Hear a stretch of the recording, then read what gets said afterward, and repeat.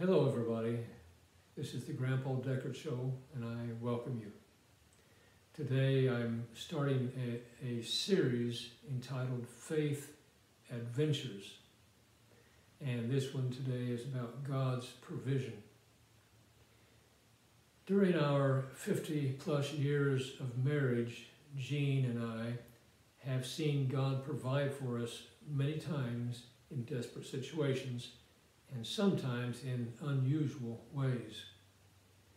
In 1986, we moved to Israel from our Indiana home, and along with our son Joshua, five, and daughter Karen, nine months. And uh, after living in one apartment for a year, it became necessary for us to move to another we were being funded monthly by Jeanne's dad.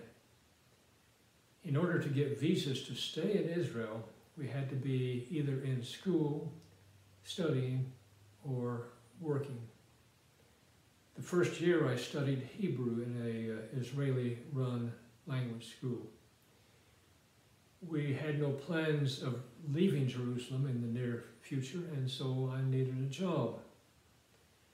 In short, I got a job at the Anglican school as a carpenter. It would be a few days before getting my first paycheck. Meanwhile, we had no money. We spent all we had in securing our new apartment. No money, no food, and we were hungry.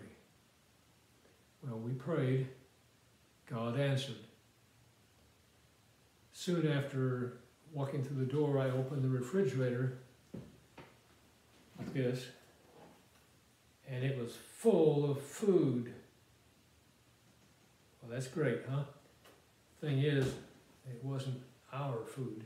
It belonged to the previous tenant. Got her phone number and gave her a call and asked when she would be coming by to get her food.